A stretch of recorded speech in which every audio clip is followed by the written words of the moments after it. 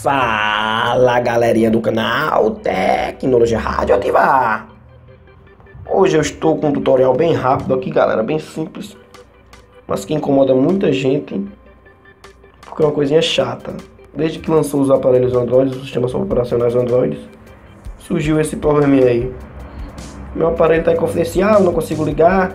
Como é que eu tiro meu aparelho do confidencial?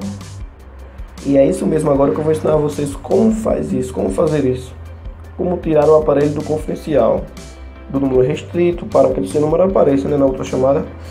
Isso realmente é muito chato. É, vamos logo ao passo, né? Que é uma coisa bem rápida. Vocês vêm aqui ó, em telefone. O meu tá em inglês, galera, mas calma. Não criemos pânico, porque é uma coisa bem simples. A partir de clicar aqui ó, na chamada, onde você digita os números, vocês procuram configurações. No meu aqui é um, um Galaxy Prime. Tá logo aqui, ó, na setinha aqui, ó settings, mas isso aí é bem simples vocês encontrarem. Em todo o aparelho da Samsung é o mesmo, mesmo procedimento. A partir de configurações, vocês vão em cal, que é chamada. Logo após isso, vocês descem. Vem aqui, ó, adicional settings, que é configurações adicionais, aí em português BR para vocês. Configurações adicionais. Aí espera, vai ler os dois chips. A primeira opção aqui, ó, Keller ID.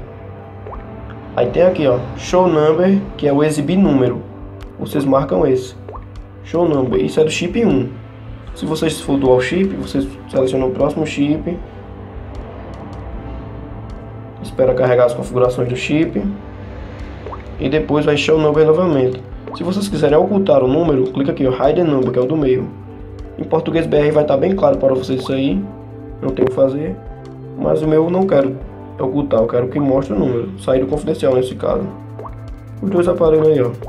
Vocês podem fazer ligação agora. Terminou. Bem simples, galera. E é isso aí, agora pode ligar à vontade que qualquer um vai ver seu número. Ou então se você quiser ocultar o número propriamente dito, pode fazer isso também. E é isso aí, galerinha. Curta o canal aí, ó. Dê like, compartilhe os vídeos ajuda aí na divulgação do canal. E é isso aí. Mais tarde eu tô voltando por aí. Fui!